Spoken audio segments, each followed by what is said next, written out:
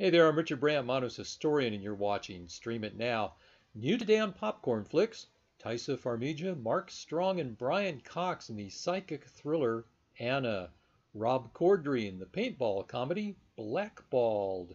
The prank call thriller Don't Hang Up. Abigail Breslin in the action thriller Final Girl.